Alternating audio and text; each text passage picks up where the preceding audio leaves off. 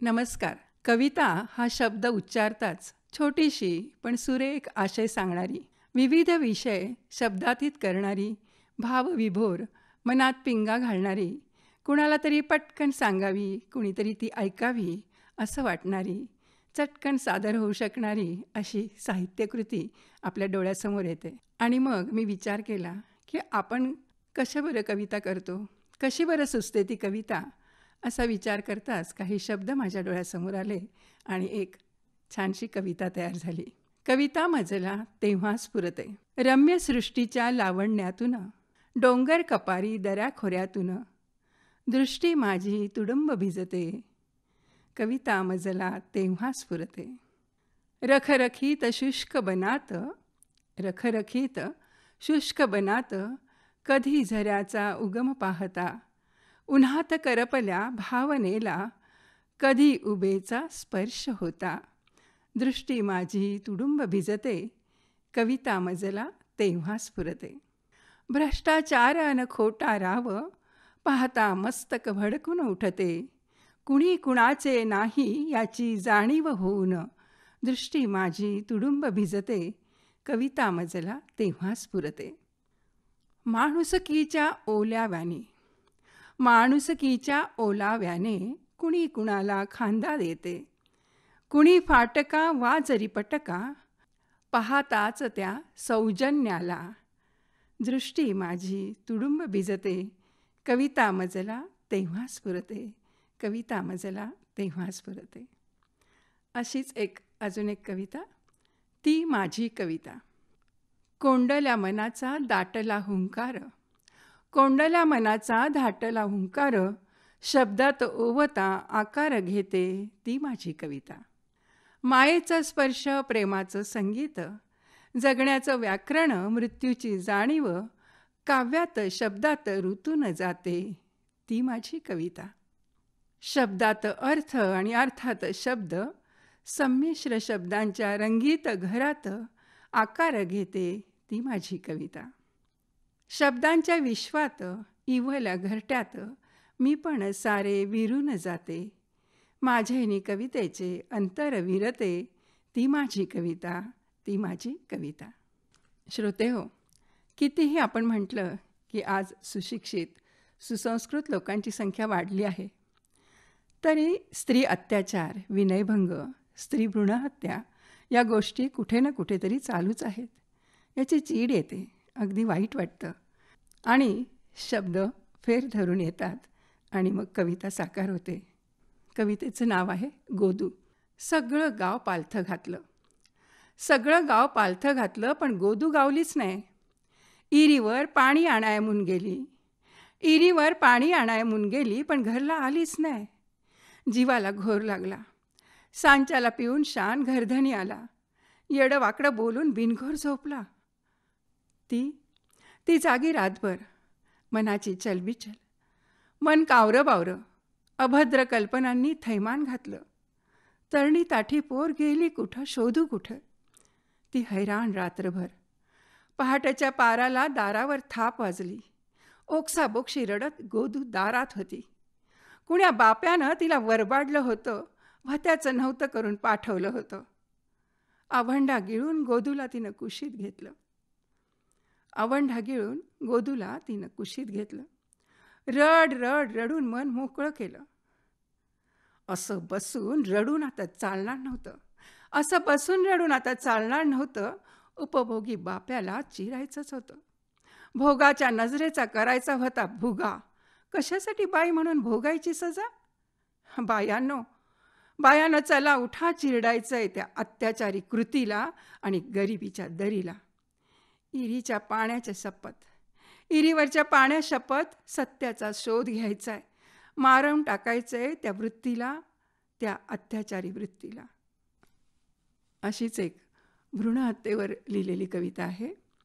I ग मला जगायचं आहे लई नाही मागणं एकच सांगणं. लई नाही मागणं एकच सांगणं आई ग मला जगायचं आहे नको ऐकू दुसऱ्यांचं. लेकरू आहे मी तुझं. घाबरू नकोस ग. आहे मी ऐकलं रडणं तुझं. पोटाशी धरून तूच मला ऐकवलं आहेस गारहणं पोटाशी धरून तूच मला ऐकवलं आहेस गारहणं वंशाचा दिवासाठी मुलगा हवा सगळ्यांना. म्हणून दमदाटी झाली तू वावर. मुलगी जन्माला आली तर कसं काय करावं? म्हणून घाबरा जीव झालाय तुझा. आहे ग मला जगायचं आहे तुझ्यासाठी. ओंजळीत भविष्य आहे माझ्या. तुला सांगते. मी आधार होईल तुला. मी आधार होईल तुला. प्रत्येक जीवाला हक्क असतो जगण्याचा. क्रांती घडवून जगतात. क्रांती घडवून जगतात. होईन मी पराक्रमी. जिजाऊ झाशी अहिल्याबाई. मी पणती मी मेणबत्ती. देईन सर्वांना प्रकाश अंतरंगी खरंय माझ्या लेकरा. दाखव तुझं स्वरूप. पवित्र सात्विक तेजस्वी. बापे बसतील चिडीचूप. समजतील तुला आधार. कळेल त्यांना मुलगा वंशाचा दिवा. तर मुलगी असते पणतीचा प्रकाश पणतीचा प्रकाश. श्रोते हो जे न देखे रवी ते देखे कवी असं म्हटलं जातं. ते अगदीच खरं आहे.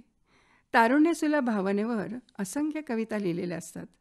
तरीही त्यात विविधता आपल्याला आढळतेच की अशाच काही क्षणांचं मी या कवितेमध्ये वर्णन केलं आहे आज कुणीतरी.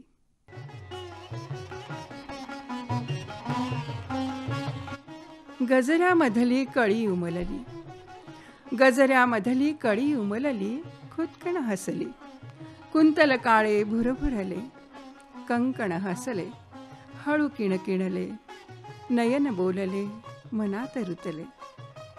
कंकण हसले हळू किणकिणले नयन बोलले मनात रुतले. आज आज कुणीतरी मनात वसले. आज कुणीतरी मनात वसले. पाकळीवरी दव ओथंबले.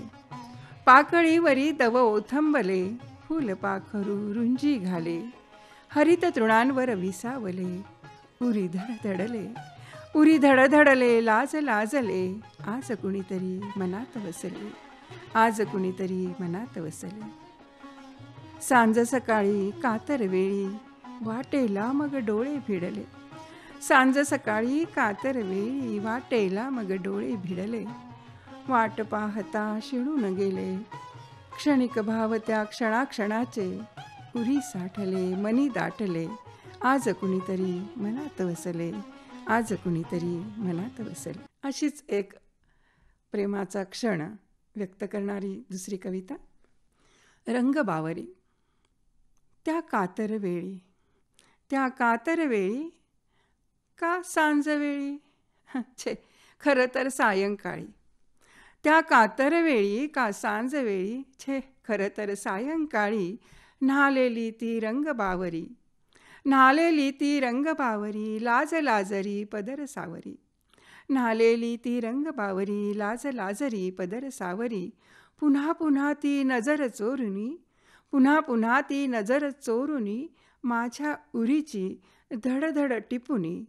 माझ्या उरीची धडधड टिपुनी. मलाच नकळत माझे सारे घेऊन गेली. मलाच नकळत माझे सारे घेऊन गेली. तिच्या प्रीतीचा गुंता घेऊनी तिच्या प्रीतीचा गुंता घेऊनी इथे उभा मी. सायंकाळी का कातर वेळी छे सांजवेळी वाट पाहतो वेळोवेळी वाट पाहतो वेळोवेळी. यानंतरच्या कवितेचं नाव आहे अर्थ. अर्थ नसतो एका शून्याला. अर्थ नसतो एका शून्याला जेव्हा तो असतो एकटा. अर्थ नसतो एका शून्याला जेव्हा तो असतो एकटा. अर्थ नसतो अनेक शून्यांना एकत्र येण्याला जेव्हा ते रांगेत असतात. पण पण शून्याच्या मागे एक आकडा आला तर? पण पण शून्याच्या मागे एक आकडा आला तर अनेक शून्यांचा अर्थ उलगडतो. शून्यालाच अर्थपूर्ण अर्थ लाभतो. शून्यालाच अर्थपूर्ण अर्थ लाभतो. अशा माझ्या शून्यपणातील तू एक होशील का? अशा माझ्या शून्यपणातील तू एक होशील का? अर्थपूर्ण जीवन माझे भरभरून घेशील का? भरभरून घेशील का?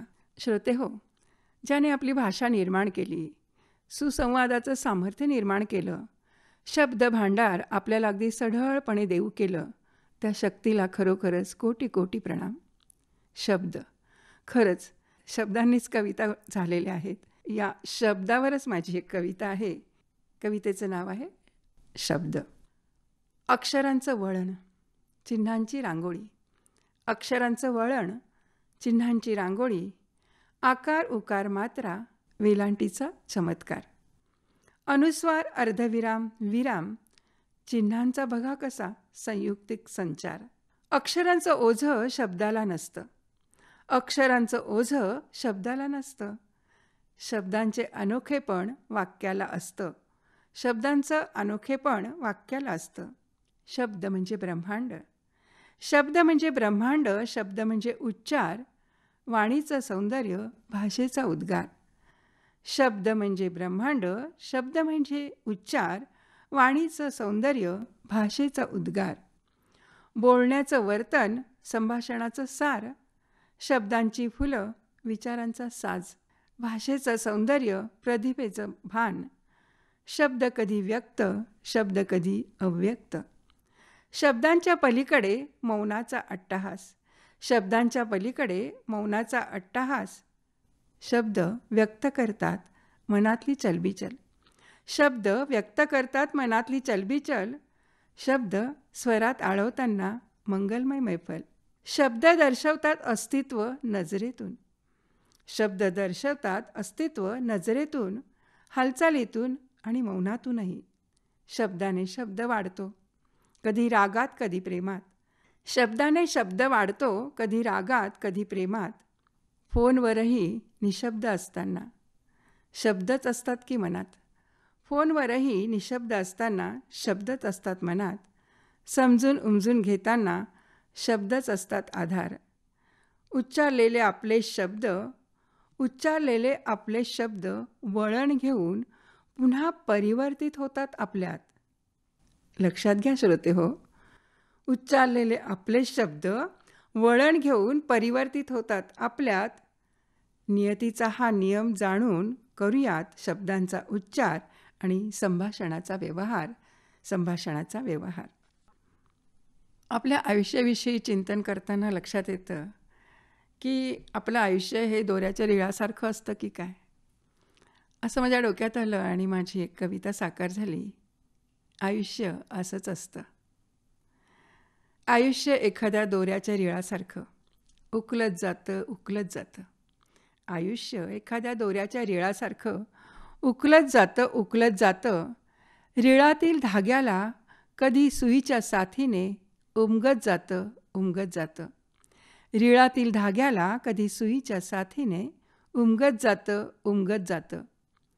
आयुष्यातील उभे आडवे धागे आयुष्यातील उभे आडवे धागे जोडत असताना तो बंध समजत जातो समजत जातो. रिळातील धाग्यातून आयुष्याचं वस्त्र घडत जातं घडत जातं.